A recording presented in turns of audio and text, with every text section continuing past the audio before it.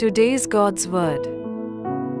Job 121 And said, Naked I came from my mother's womb, and naked I shall depart. The Lord gave, and the Lord has taken away.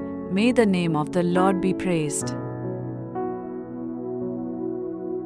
Topic Nothing on this earth is permanent. Have you ever noticed that nothing around you stays with you forever? Your parents, spouse, family, relatives, wealth, health, degree, beauty, everything fades away sooner or later. Let me share a story.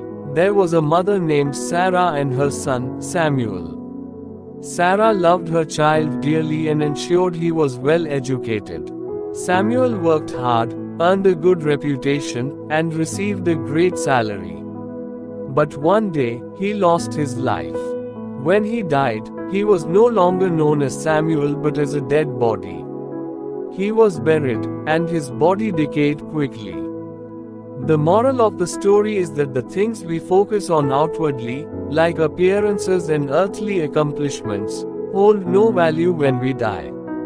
It is our soul that will stand before God to give an account of what it did on earth. Today, many of us strive to maintain our health and a good name in society, but are we also working hard to earn a good name in heaven? The wealth and reputation you store in heaven are eternal, while everything you gain on this earth will one day leave you. May God bless this word.